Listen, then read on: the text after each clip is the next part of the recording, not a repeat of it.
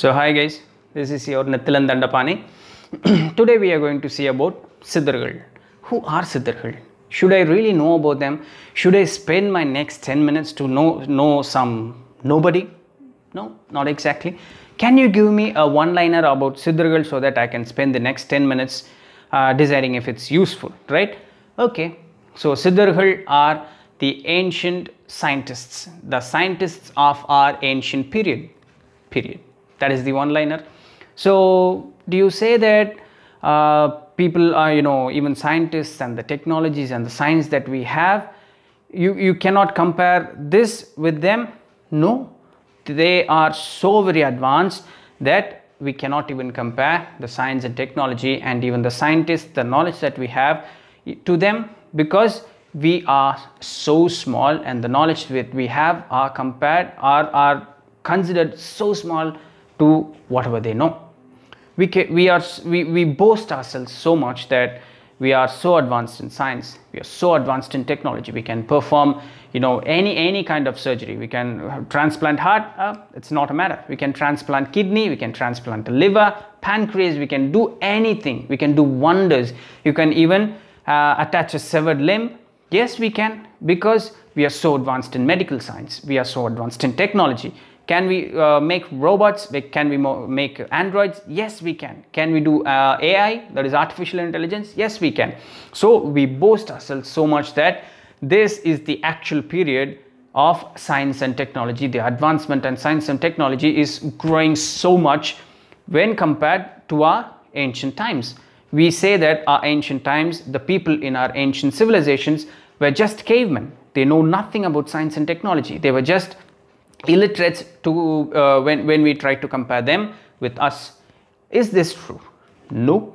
If we try to read or if we try to know about the ancient civilizations there were civilizations so vast in knowledge they, they are okay they are, they are uh, they are no more the entire civilizations has been lost but they were so advanced in technology and science that we cannot compare ourselves with them to be to say that as a proof we have lots of architectural buildings. Uh, we even talk about aliens. Aliens who have visited us uh, the civilizations who have been uh, who have been in contact with them. And uh, we have pyramids. Yeah we still don't know who uh, built the pyramids how the pyramids were built. We have uh, very large temples in india. Yes. And we have vast cities that has been buried in the ground or that is under the sea or an ocean. Yes. So we have very vast ancient civilizations who are so advanced in science and technologies we are going to see one such civilization in this channel entirely. So what such what such civilization is that? The Tamils, the people who speak Tamil. They hail from the uh, very small part called Tamil Nadu, India, right? So that is the civilization that we are going to see and this particular Siddhargal had hailed from this southern part of India that is called as Tamil Nadu. So this is uh, where uh, the people have hailed and these are the people who uh, were uh, the scientists of our ancient civilization and we are going to see about them. Right. So they have given lots of lots of knowledge to us. They've they've even uh, know the concept of God. They they don't say that God is a physical being like how our religious texts say. No, God is not a physical being. He's just an energy. He's just a particle. They talk about matters. They talk about atoms. They talk about particles right? They they even know the size of a soul. The even an atom has an atom and even that atom has an atom and god resides in them. So god is not a physical being. He, he is a particle. He is a very smallest uh, tiniest particle right? They talk about all these things. And they they even talk about elixirs they have they have practiced elixir uh, people in south india still believe that siddhargal are alive thousands of uh, years together, you know, lakhs and crores, and that's millions and billions of years together, they are still alive, having elixirs. They can prepare elixirs from, you know, the greens that we find on the roadside. You know, they can even uh, have uh, poisons, they can even turn poisons into medicines. They are so advanced, right?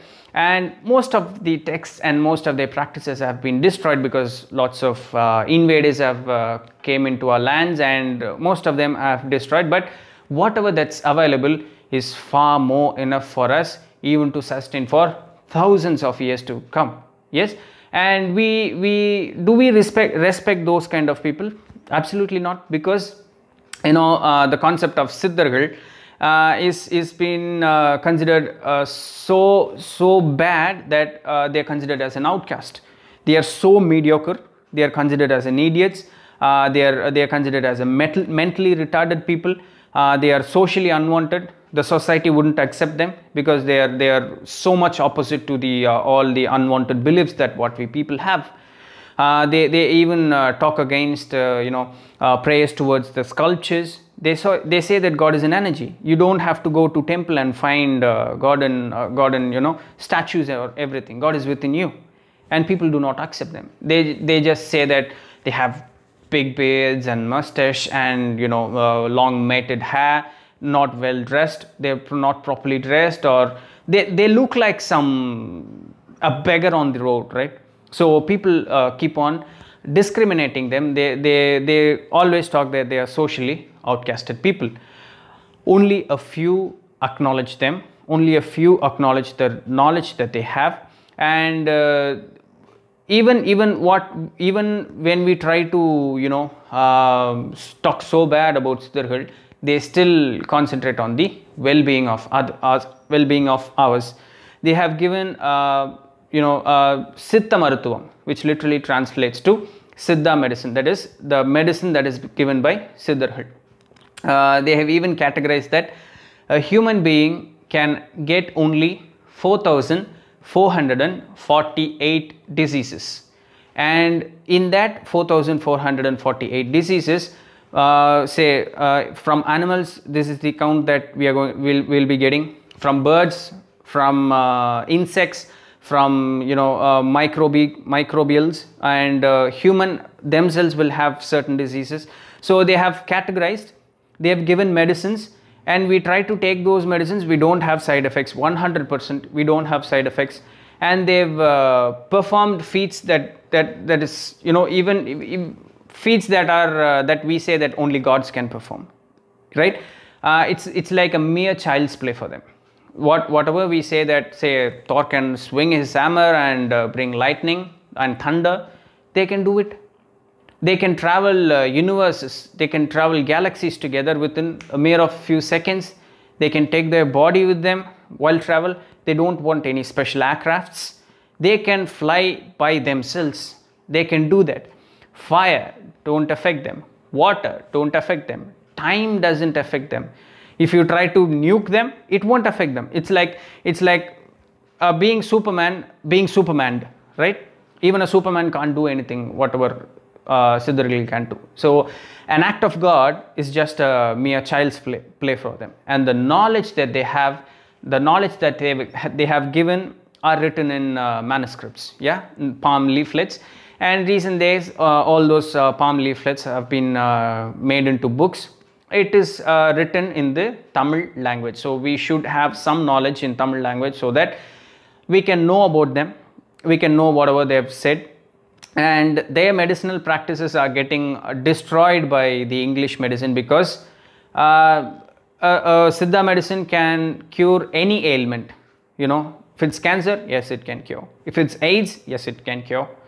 But english medicine cannot perform that right? So they want to and corporates play a very bigger game. So they try to destroy siddha medicine and it, yes it is almost destroyed but some some practice still practice that and try to keep the siddha medicine. It's it's a it's a big tug of war between uh, the english medicine and the siddha medicine. So i can keep adding right? Uh, i can keep adding about them. So these uh, this is uh, who siddhargal are. And I might have dragged a simple concept, concept so much because I'm not used to English.